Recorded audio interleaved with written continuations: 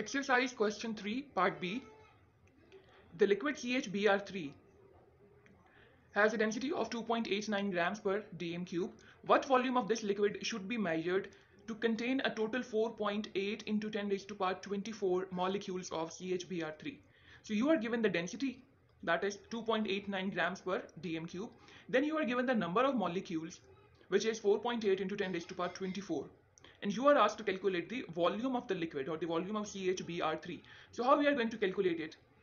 That before calculating the volume, we are going to calculate the mass of CHBr3 and for calculating the mass, the first and foremost step is calculation of the molar mass of CHBr3. So the molar mass came, came out to be 12 for carbon, 1 for hydrogen and 79.9. So 79.9 is basically for one bromine molecule. We are going to multiply it with 3 because we have CH and 3 molecules of Br.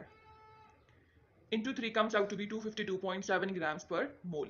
Now, as we already know the formula for the number of molecules, the formula is mass by molar mass into Avogadro's number. So we are going to convert this formula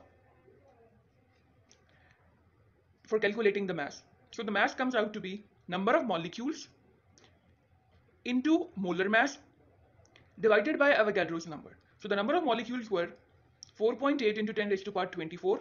Molar mass came out to be 252.7 grams per mole and the uh, Avogadro's number value is 6.02 into 10 raised to power 23.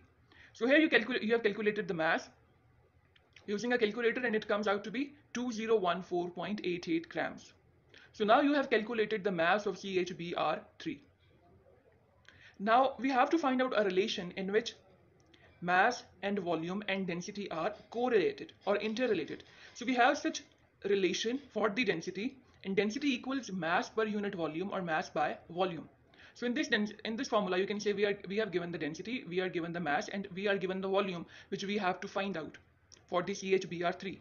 So now we are going to convert this formula into the volume. Volume equals mass by density mass we have already calculated mass. It is 2014.88 volume was uh, density was given in the question. It was 2.89 and now by calculating this value the answer is 697.19 dm cube.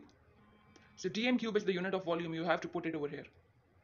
So this is the answer for solution of sample solution of exercise question number 3 part b